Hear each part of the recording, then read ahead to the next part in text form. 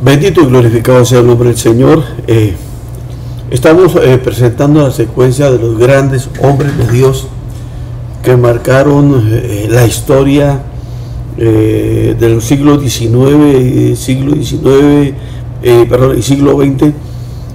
fueron grandes hombres de Dios y fueron los precursores del Evangelio de poder, el Evangelio del Pentecostés.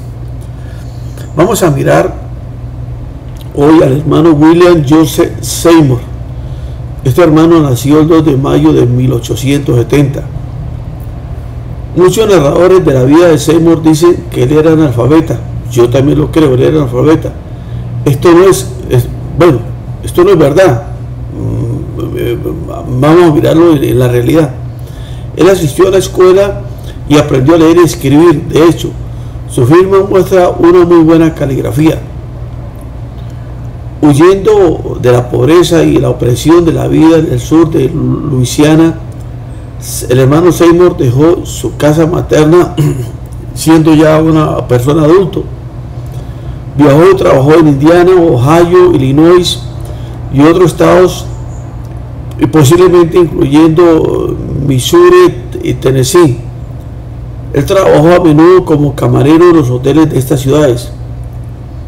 En 1905 Seymour estaba en Houston, Texas, donde él oyó el mensaje pentecostal por primera vez. Él asistió a una escuela bíblica dirigida por Charles F. Farman. Era el fundador del movimiento de fe apostólico y es el padre de avivamiento del Pentecostés carismático moderno. En una escuela bíblica de Topeka, Kansas, sus seguidores habían recibido el bautismo del Espíritu Santo con la evidencia bíblica de hablar en lengua, gloria al nombre del Señor. Eh, continuamos con, con, la vida de nuestro hermano Joseph Seymour. El 12 de abril, eh, tres días después de la manifestación inicial, Seymour recibió su bautismo de poder, el bautismo del Espíritu Santo. Rápidamente la capacidad de la casa de Asbury se sobrepasó y los fieles comenzaron la búsqueda de una nueva casa con una nueva iglesia. Ellos encontraron su, un, edificio en la calle, la famosa calle Azusa Los Ángeles. La misión se había construido como una iglesia episcopal metodista africana, pero cuando los habitantes anteriores lo, les ocuparon, el santuario de arriba se había convertido en, apartamento. Un fuego destruyó el tejado y se reemplazó con una azotea. La planta abajo sin acabados y, piso de tierra era utilizada como lugar de bodegaje y almacenaje. La planta baja se convirtió en el altar de oración y dos canastas de madera cubiertas por una tela barata se volvió en el púlpito. Ahí fue el lugar donde la gente vio caer lenguas de fuego. Eso lo estamos viendo, fue en el año 1907, 6, 5. Desde ese humilde lugar, la verdad pentecostal se extendió por todo el mundo. Muchos eh, creyentes, cristianos de diferentes partes del mundo fueron a ese lugar. Gloria al nombre del Señor.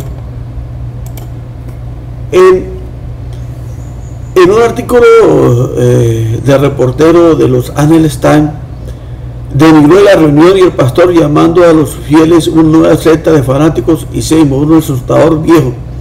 Se burlaba de, su predicación como un extraño babel de lenguas porque la gente hablaba, todos hablaban en lenguas. Más importante es que las opiniones críticas expresadas por el reportero fue el cronometraje provincial día de su visita.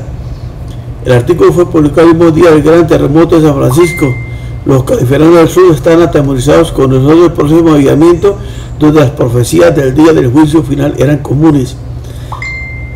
Viendo la gente eh, y escuchando las predicaciones del hermano Seymour, muchos, pero por cantidades, era un lugar donde eh, eh, las 24 horas del día se estaba predicando la palabra del Señor donde la gente al pasar por ese lugar empezaban a llorar.